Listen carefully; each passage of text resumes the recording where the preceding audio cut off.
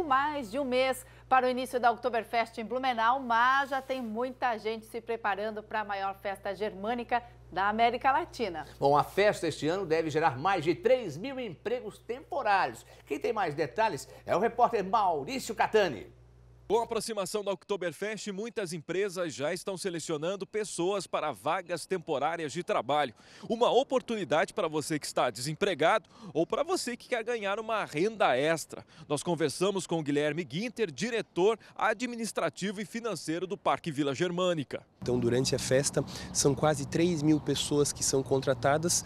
É, pense na importância dessa renda adicional para as famílias de Blumenau. Nessa época, né, vivemos uma época de dificuldade financeira, por isso que essas vagas para o Oktoberfest são tão procuradas uh, pelas pessoas e desde já inicia-se esse processo de procura, de busca por essas pessoas interessadas em estar na Oktoberfest. E a partir agora da primeira semana de setembro, o caminhão do Cine estará aqui na Vila Germânica fazendo o cadastro dos interessados uh, a estarem na Oktoberfest e essas empresas poderão buscar também uh, esses cadastros de pessoas interessadas também pelo Cine.